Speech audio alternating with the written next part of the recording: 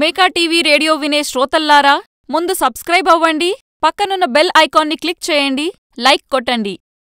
అసురన్కి జోడీగా తమిళంలో విజయవంతమైన చిత్రం అసురన్ ధనుష్ కథానాయకుడిగా నటించిన ఈ చిత్రాన్ని తెలుగులో రీమేక్ చేస్తున్నారు.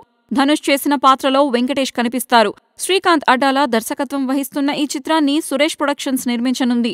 కథానాయికగా శ్రీయని ఎంచుకున్నట్టు తెలుస్తోంది. సుభాష్ చంద్రబోస్ గోపాల గోపాలలోనూ వీరిద్దరూ జంటగా నటించారు.